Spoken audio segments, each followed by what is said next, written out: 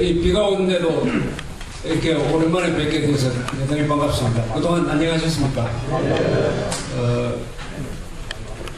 벌써 6월이 가까이 왔는데 이 6월이 한국에서는 굉장히 골치 아픈 달입니다. 6개월뿐만 아니라 이게 저 새해에서 도발하기 딱 좋은 달이 6월인데 마침 이 항상 어, 이 자리를 빛내주시는 김승만 전 해군 작전사령관님께서 메모를 해가지고 오셨는데 어, 그동안 한 2주 동안 쉬는 사이에 일어난 일과 더불어 이 서해상에서 북한군이 요새 연습을 많이 한다고요. 도발할 연습을 한다는데 그게 어떻게 대응 체제가 어떻게 되어 있는지 한 10분 정도 정리해서 말씀을 드리도록 하겠습니다. 우리 김성만 장군님 나오실 때 박수 좀 보내주십시오.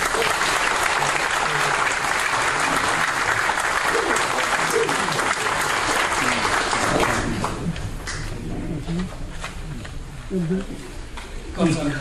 응. 네, 제가 오늘 말씀드리고자 하는 것은 그 3차 연평해 전이 과연 언제 일어날 것인가. 그 다음에 그 대량 살상무기 확산 방지 부상인 필살 참가 문제.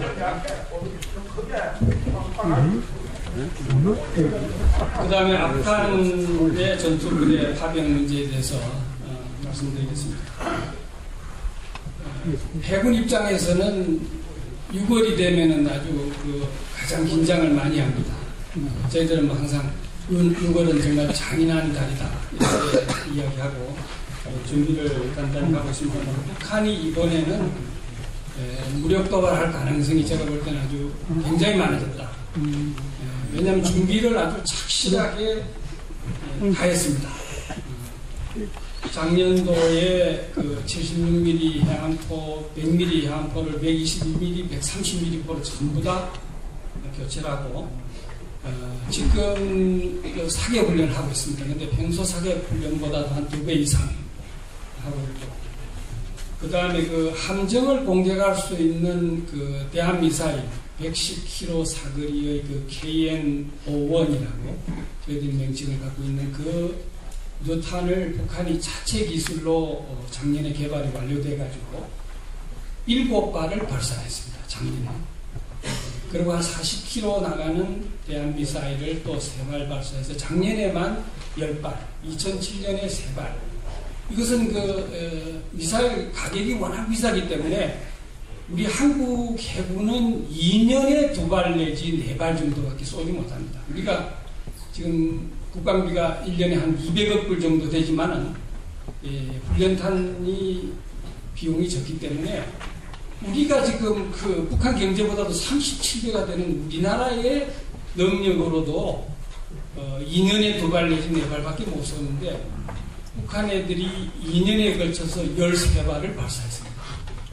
참 전쟁 준비를 하고 있다 이렇게 보는 것이 맞겠습니다. 그리고 어, 북한이 현재 그 어, 잠수함을 지난 2년간 열척을 점강했습니다. 이 잠수함이 우리나라 잠수함보다는 좀 크기가 작지만 잠수함은 기본적으로 뭐 덩치가 크다 해서 돈이 비싼 게 아닙니다. 작게 만드는 거 한반도 주변에서 아주 활동할 수 있는 가장 적당한 잠수함이 저희들은 300톤을 알고 있습니다. 근데 우리는 이제 예, 우리 해군은 일본이나 중국도 상대해야 되고 북한도 상대해야 되기 때문에 예, 비교적 양쪽 다 겸용할 수 있는 잠수함을 한 1000톤급에서 1800톤급 이렇게 보유를 하고 있습니다. 그러나 북한은 가만을 가져가겠다는 그런 차원에서 잠수함을 개발하기 때문에 2년 동안에 열척을 개발했다는 것은 엄청난 돈을 투자한 겁니다. 우리 해군이 가지고 있는 잠수함이 이제 열척인데 열척을 확보하는데 7년이 걸렸습니다. 왜냐하면 우리가 돈이 없기 때문에 이렇게 열척을 이렇게 2년 만에 확보한다는 놀라운 일입니다. 그리고 북한이 2년 동안에 지금 어, 특수전 부대가 12만에서 18만으로 6만이 늘어났습니다.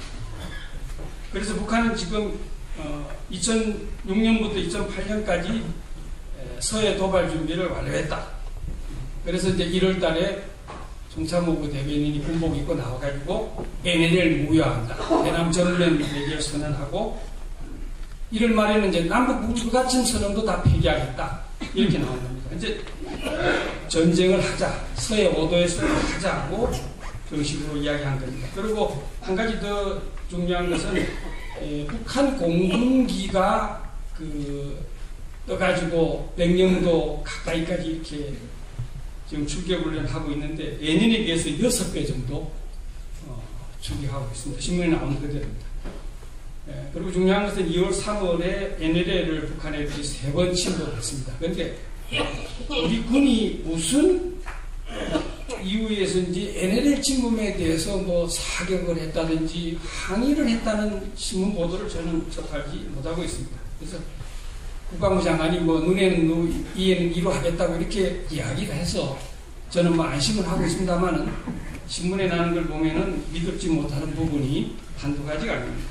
그래서 저는 우리 국방부가 어, 좀더 이렇게 그 능동적으로 이렇게 북한을 어, 제압할 수 있는 어, 예를 들어서 NLL을 무효한다. 그러면 남북 기본 합의서 보고 다 무효화되는 겁니다. 그래서 이럴 때 남북 정상급 회담을 하자. 왜너 NLL을 무효하느냐? 이렇게 그 따질 수 있는 어, 적극적으로. 그 다음에 북한 경비정이 NLL 넘어오면은 정상급 회담해서 왜 넘어왔느냐? 이렇게 그 공격적으로 어, 우리가 해야 됩니다.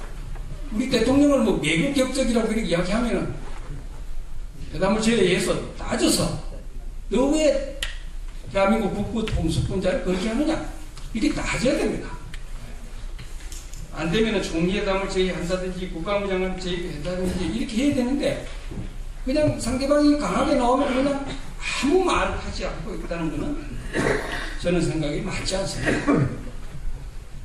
그 다음에